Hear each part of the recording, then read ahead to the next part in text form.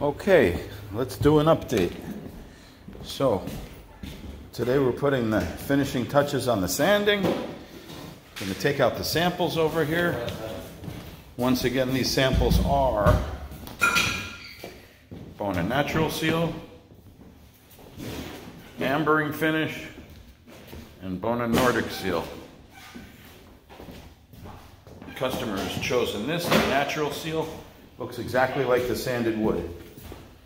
Um, okay, so the handrails. The handrails, this is what we would sand if we did the handrails. We would sand this down to raw wood, or maybe not, but pretty typically is we do the post, and then we sand this. Underneath this, there's no practical way of getting that white off. So we sand this, but we leave the white underneath it.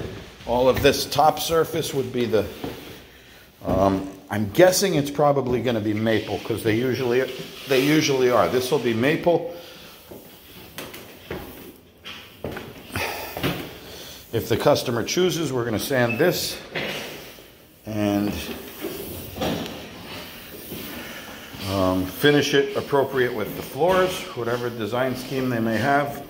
Usually it's a little bit darker than the floor is the handrail. All right, another option that is pretty vital for the job is these shoe moldings. Downstairs has shoe moldings and this does not. That's not really desirable. It looks unfinished.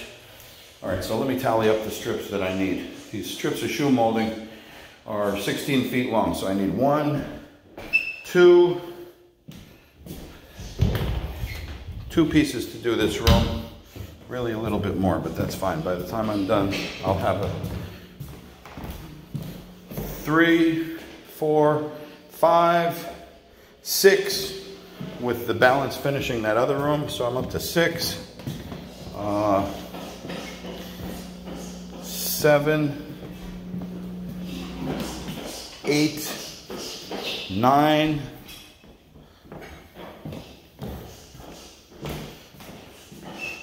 10, 11, 12,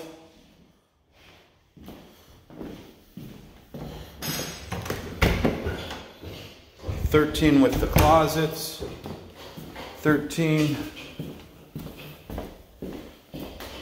14, 15, 15, uh, let's say 16. So this area here, what we do with this is I gotta cut and carve that away. If we do the uh, shoe molding, I gotta cut and carve this away and tape all around it and styrofoam, no not styrofoam, probably gonna plaster it to the floor. Okay, 16, there's a couple of doorways like that. 16.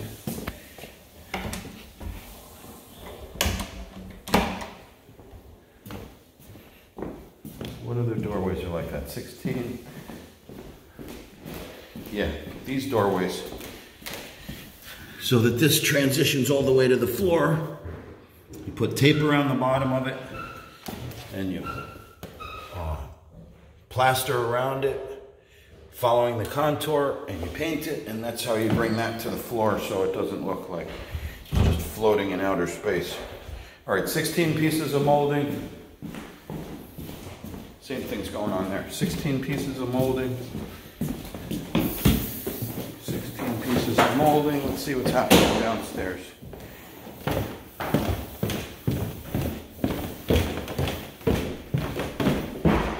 Seventeen 18. Interesting round piece here. I'll get a vinyl one. 18 and one vinyl. Which one is it, Jay? 18 and one vinyl. This one. Natural seal. 18 and one vinyl. 18 and one vinyl. Where else do we need shoe molding?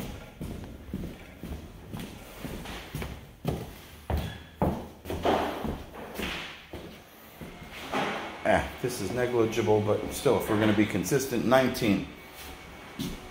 All right, 19 strips will definitely be sufficient to get all of that shoe molding.